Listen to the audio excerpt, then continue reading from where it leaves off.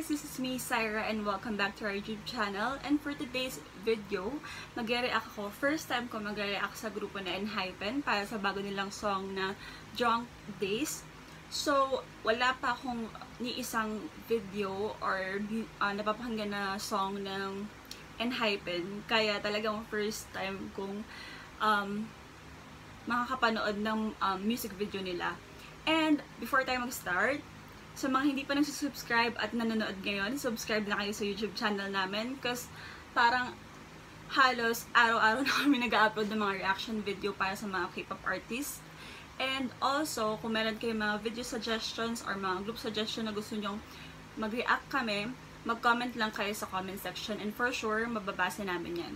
So, huwag na natin patagalin. Simulan na natin in 3, 2, 1, let's go! So, ayan, nagsalamin ako dahil malabo yung mata ko. And, kinuha ko na din yung pagpapanodan ko ng music video.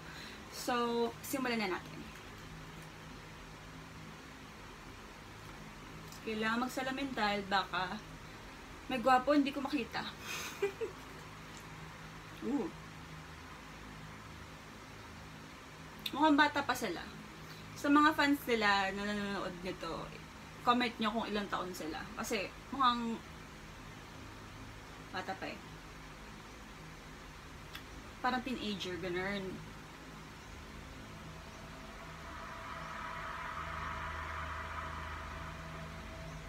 Nakakatakot yung kamay.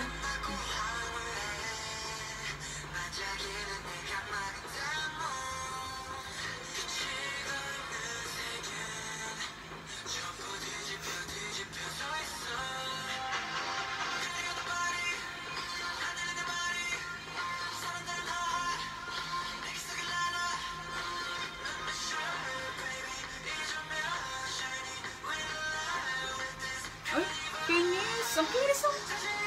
Parang sinampal ako ah. Ang kinis ang mukha niya. Oh.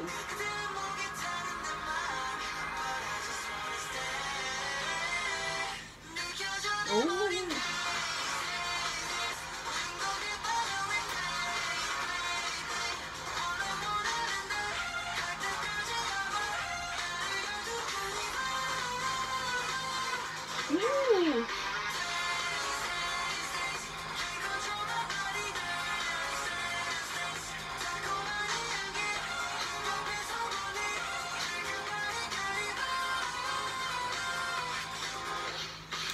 Sa mga mukha nila, nakakaasar. Naingit ako. Ooh. Mga siyang actor. Oh, digo.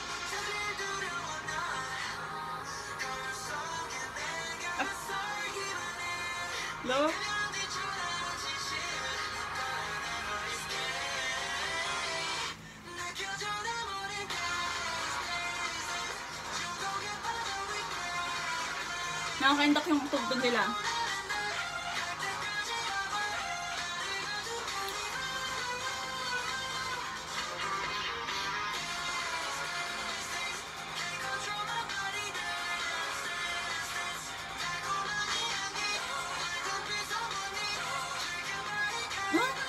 Gwapo. Hmm? Natatakot ako sa mga. Natatakot ako sa ganun.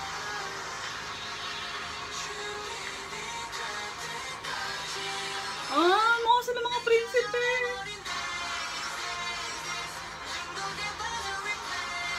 Bagay sa kanila yung suit nila.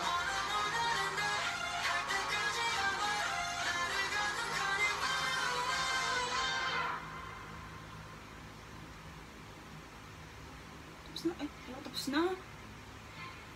Mabibitin sana ako kung tapos na. Ay! Ay!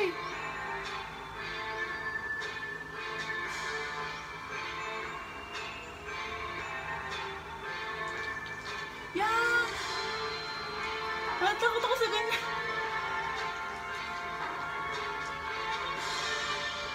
Oh my God! Ang na ano nila! Oh my God! Ang daming dugo!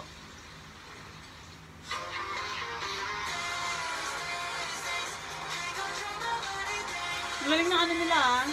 PG nila. Oh! Galing!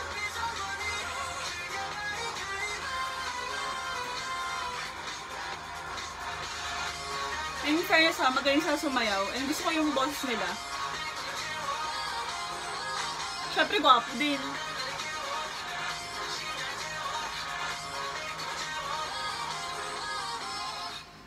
Tapos na.